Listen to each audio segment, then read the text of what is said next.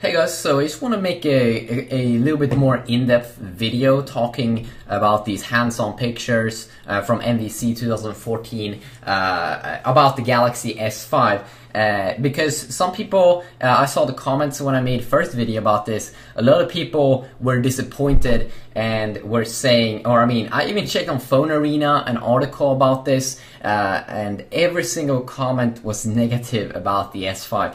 Uh, it seems like people have very, very high expectations uh, all the time, every single year with every single new device that's coming out. And I just want to say, people, like, chill out, relax, I mean, we all been through this many times. People become super, super mega disappointed, and then the phone comes out on the market, and people realize, oh wow, it's actually pretty good. And this is something that's been happening with both Samsung's Samsung's Samsung smartphones and iPhones.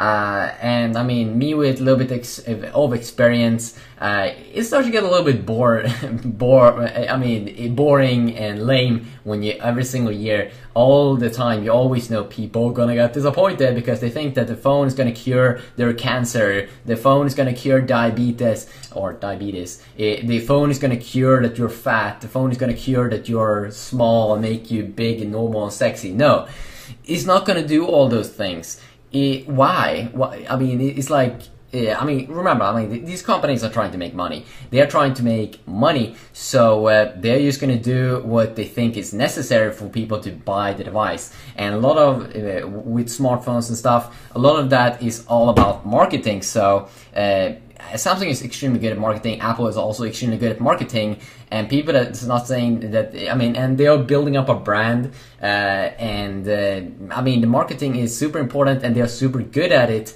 And uh, the thing is that Samsung is really, really dominating right now uh, in in the Android market. So basically, just by bumping up the specs, not changing the design too much.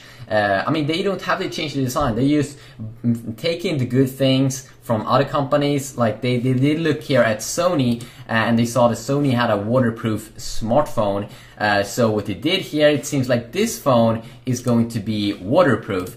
Uh, that basically means that they took the great thing from Sony and implemented it into this device. Now they didn't just do that, but they also looked at Apple and they saw, okay, Apple is doing some kind of fingerprint thing. We're gonna try to implement that, and it seems like they successfully did it with this device. Now we don't know exactly if this is the Galaxy S5 Prime uh, or if this is the Galaxy S5. We've heard rumors about the Galaxy S5 Prime, uh, but we we have to. Um, uh, um, uh, I mean, we're gonna get the real stuff in a few hours, and then we finally will know. But yes, uh, one of these things that you will have a flap at the at the at the, bottom. That's something that I honestly I don't like uh, with. Um, uh, with the Sony's products, uh, and I'm gonna see if I'm gonna get annoyed by it. Uh, if this is the S5, if it's gonna have one of these flaps. Uh, it's going to be a cool thing though uh, th- that if it's going to be waterproof. I mean, the durability is a big thing that Samsung is focusing on, and I think that one of the reasons also why they don't go with faux leather back here uh, is just because uh, if, if they do go with faux leather back, uh, the leather back that they did have on the Galaxy Note 3, uh, and then it, it's going to be in water. I mean, waterproof phone with leather on the back. I don't think that's a good idea.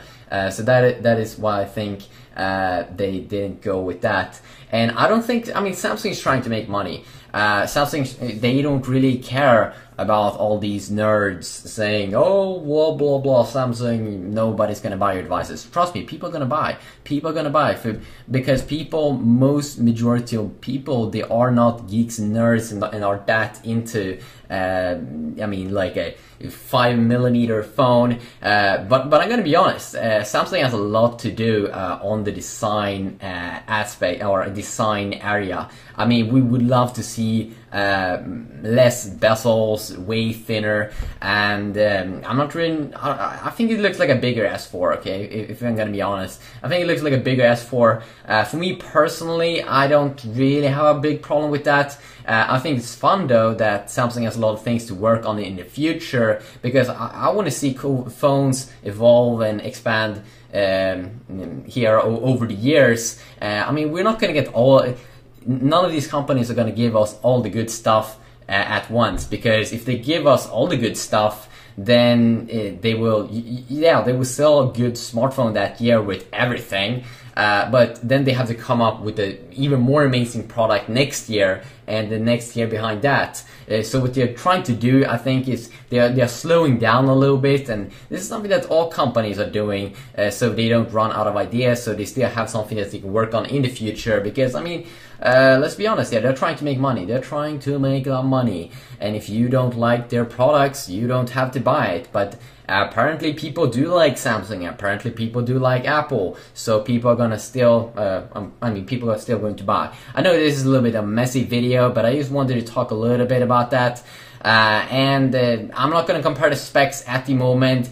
Don't be super hard also on the things that's coming out right now before we don't even know if it's the official stuff. We have no idea. Uh, this could just be some random thing. Uh, and also pretty interesting here, they went with like a, a back here with ha which has dots on. It kind of looks like they took the design of the Nexus 7 uh, and those dots, so you, you will have a good grip on the back, uh, which I think probably will be better than the glossy back. Uh, that the S4 had because a good grip that's always nice and I mean they made many many upgrades in in in, in the uh, in the internal in, in the internal side. For me personally, the bigger display is a big thing. I always wanted bigger, and, I, it seems like they're going from five inch to five and two inch now, and I do enjoy that. Uh, and then it seems like they made something with the camera here. It almost looks like a projector or something. That looks pretty sick. Uh, and you can see that the camera looks bigger, so probably going from either 16 to or a, 30 megapixel camera like on the S4 to either a 16 or 20 megapixel camera. Improved internals in the in the processor and probably a better GPU graphic processing unit, a better display as well, probably a higher resolution display, a, a brand new version of TouchWiz. Uh, I mean, there's a lot of things to be excited about, and uh, I mean, especially one of the cool things I think personally, waterproof. If it's gonna be waterproof, I really enjoy that. Water and dust proof uh, is something that I really enjoy. I also do hope they have some kind of new version of Gorilla Glass, so it could be even more durable uh, on the front side. Uh, so uh, we just have to see here what they're gonna do. But um, yeah, in a few hours, I might even have a live stream. You can kind of see the new flat UI here, which looks pretty good, but all you that freaks out, don't freak out. Uh, I mean, people do it all the time. I mean, just just chill out a little bit. People are making it sound like World War Three or something. Uh, this is the golden color edition as well, which uh, looks pretty pretty interesting. I'm not sure if I like it. I'm not even sure if I like the dots. But then again, these pictures are a little bit blurry. It's not the best. Uh, so we're probably going to see the good stuff coming out from Zombie Boy in a few hours, and then we get some better pictures and better official pictures, and we can definitely take a closer look at it and also see if we're going to get uh, two variants of the Galaxy S5 in the beginning. We definitely know that we're going to get that in the future, and here you can see the S Health app, which definitely looks interesting here with the brand new UI.